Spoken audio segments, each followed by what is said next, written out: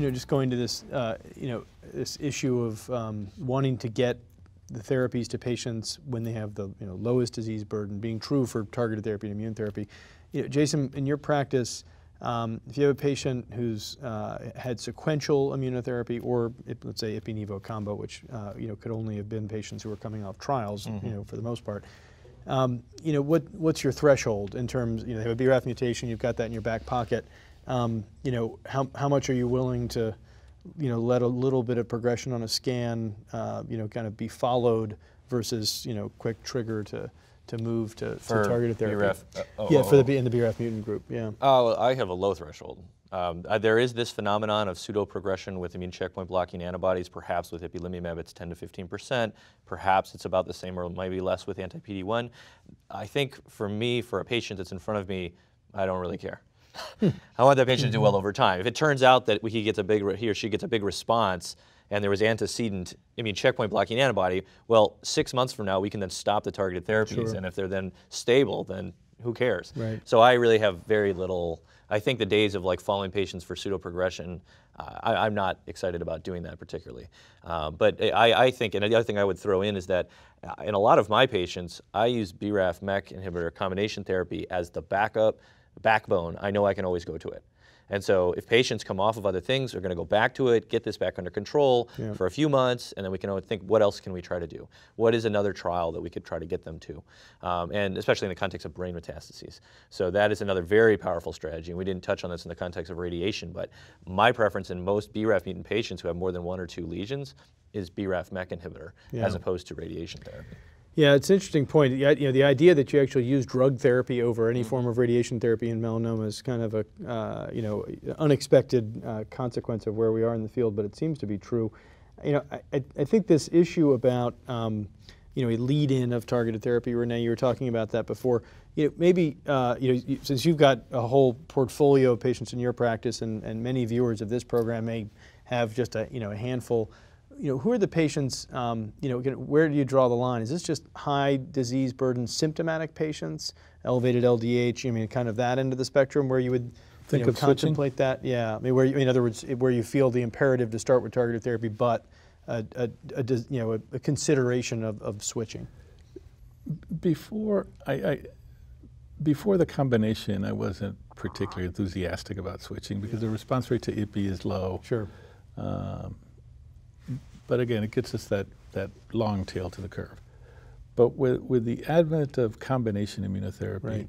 it, it's, it's, it's come into my mind more often. You know, should I, should I be switching this patient? And I think my bar is, is falling as, right. to, as to when I do that. Right. Because with, with BRAF MEK combination, you know, half the patients will die in about two years. And so I, I'm not worried about the half that go beyond that. Right. But it's right. the, it's the the, the, yeah. the, front end of that curve right. that we might be able to impact better now yep. rather than later. Right. Right. Fair enough. So it, maybe just uh, briefly summarize, since we've seen at this SMR meeting, we've seen some updated data on the vemurafenib cobimetinib combination was just approved. Um, you know, how would you, uh, you know, just quickly score, you know, response rate, median progression-free survival for the the two BRAF MEK combos out there? Um, overall survival landmarks. I mean, how do you, you know, when you're talking to patients about what, you know, what those therapies can offer, what, you know, what kind of numbers are, are in your mind there? With, uh, in terms of the over, the, the median survival, uh, it's about two years, yeah. 24, 25, 26 months, something yeah. like that. Yeah. The progression-free survival for the single agent uh, BRAF inhibitors is six, seven months in that range. And with the combination, the progression-free survival is, uh, is a little over a year probably. Right. And so at two years, you know, half the patients are alive. Right. At three years, it's a somewhat less than that, but still, you know, hopefully those curves will continue to to show that that that uh, that some of those patients hopefully can be long-term survivors. But it's the rapid progressors once you start that are that are the most problematic, and they tend to be the patients with the most tumor, but not always. Right. And sometimes right. patients with big bulky tumor will have durable long, long-term response, years. Right. Sure. But I think those are the patients where you should give an induction regimen of BRAF plus MEK.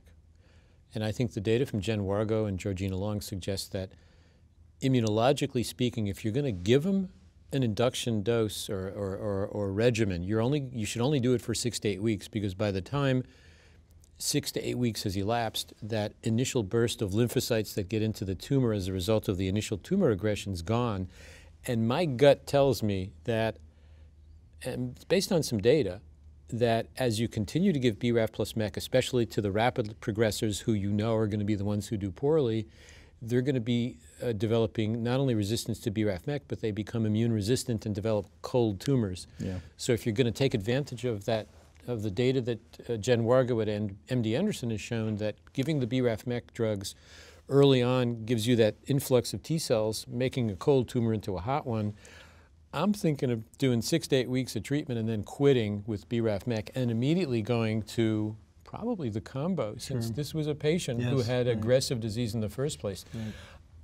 There's no trial to support that. I'm not sure that there ever will be a trial to support it. Although- but I think it's an Do idea you just have to note done. that the current FDA label for the combination of ipilimumab and nivolumab is specifically for BRAF wild type patients?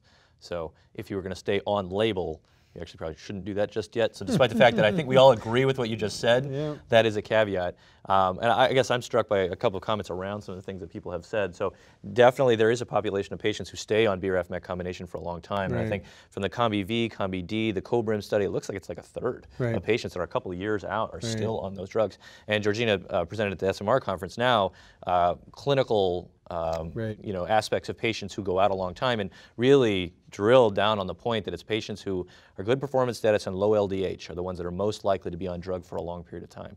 And that really sort of is something we need to go back and think because we have the this idea that oh those patients are the ones that have to get immunotherapy and I don't know how we're going to select those people yet but certainly it's something we need to really think back upon. Right. But this idea that uh, you're only going to use those drugs in the BRAF wild type population, I think is, shall we say, more honored in the breach than in, in the observance, as Shakespeare would say. Yeah, So yeah, for the right. immunotherapy, Sure. but a lot of docs, including me, are treating mutated patients with uh, the combination regimen. I'm not saying you should do it in place of BRAF MEK, but it is certainly an option that I've taken advantage of. Sure.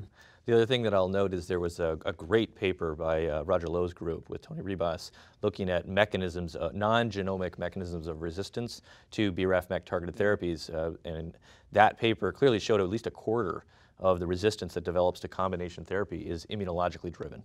It's this concept that uh, whatever the inflammatory infiltrate is lost.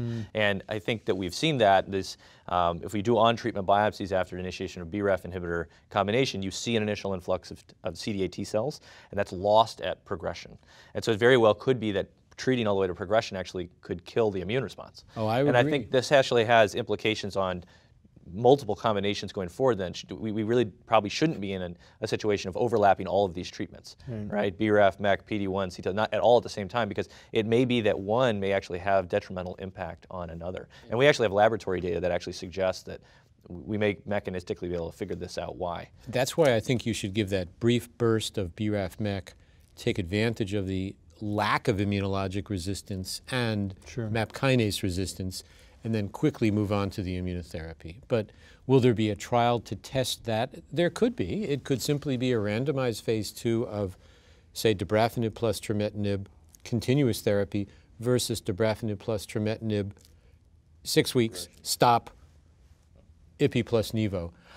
Will that trial happen? I don't know. That's the kind of trial the cooperative groups ought to do, mm. and I, I like the idea. Well, you know, may, may make a cautionary note first, which I think you, you've all you know, touched on. You know, combination targeted therapy, immunotherapy in practice right now, I'd say we all agree, really not quite ready for prime time. The, these sequences and, and how close to put the drug, drugs together, when to make the switch, I think that that's a real world issue. And even absent a clinical trial, I think you know we're all we're all facing you know patients where we feel like we, we need to do something to try to optimize their long-term outcome by weaving these therapies uh, or you know maybe in a regimen that's with, puts them next to the, each other but not overlapping. Uh, just maybe.